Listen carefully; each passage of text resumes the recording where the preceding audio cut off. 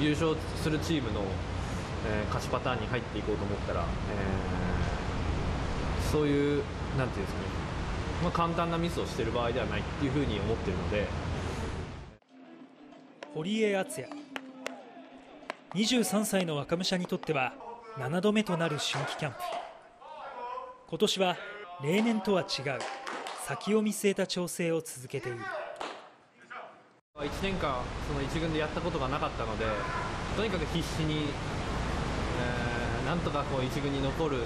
ことをまあ目標に毎年このキャンプっていうのはやってて、まあ、もちろん変わらないところもあるんですけど、えーまあ、その中で去年の経験を生かして、えー、今年1年どれだけその自分がチームに貢献できるような準備ができるかっていうところを考えて今年は過ごしてます。堀江は昨シーズンチーム2位となる52試合に登板。シーズン途中からは8回のセットアッパーを任されるなど飛躍の1年となった。しかし初めて1年間1軍に帯同したからこそ見えた課題もあった。1年間去年戦って、えっとまあ、終盤の疲れだったりとか、えーあまあ、そういうのがあってまあ、っすぐがやっぱ最後の方はちょっと自分に自信がなくなってしまって。これは堀江の月別での成績。8月までは25試合に登板し2.45だった防御率は終盤になるにつれ悪化。9月以降の防御率は6.00という結果だった。ストレートの重要性というのは痛感したということですか、まあ、やっぱりまっすぐでファウルが取れたりとか空振りが取れるっていうのは、まあ、変化球にもいきますし、えー、結局、後半はその変化球頼りになりがちだったので、すぐだけじゃないんですけど、まあ、軸になるボールとして、まあ、その常に自分が先手を打っていけるような、まあ、そのスタイルを確立したいっていうのが思いとしてあります。投球の軸はストレートとスライダーとしながらも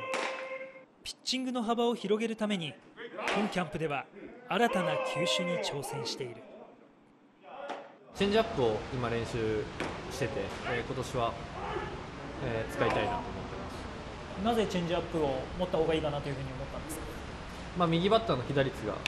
去年高くて、まあ、外に逃げる球がなかったので、まあ、そこに一つこうアクセントというか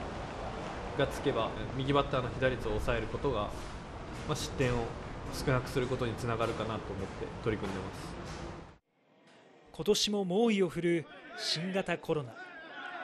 カープも外国人の入国が遅れるなど大きな影響を受けている。それだけに堀江の左腕にかかる期待は大きい、